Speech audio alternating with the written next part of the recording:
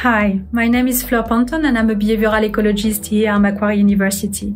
My research is about host-parasite interactions.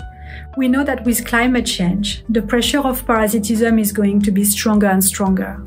Therefore, better understanding how organisms, individuals and populations will handle parasitism is essential.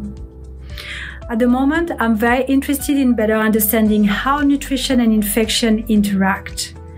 And amazingly, I found that animals can shift their diet to better resist infection. So they can stimulate their immunity and clear up the infection.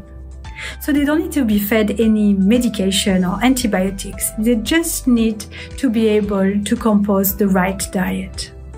What we're looking at as well is how the nutrition of the parents, so the moms and the dads, will affect the offspring health, so resistance to infection, but also fecundity and lifespan. So the organism we are working on in the lab are mainly insects and particularly the famous Drosophila melanogaster. This is a little fly, but we also work on social insects such as bees. We're using lots of different techniques from experimental infection. So we're using different type of bacteria. We have some bacteria that are very specific to insects, but some others that can be more specific to mammalian and even humans.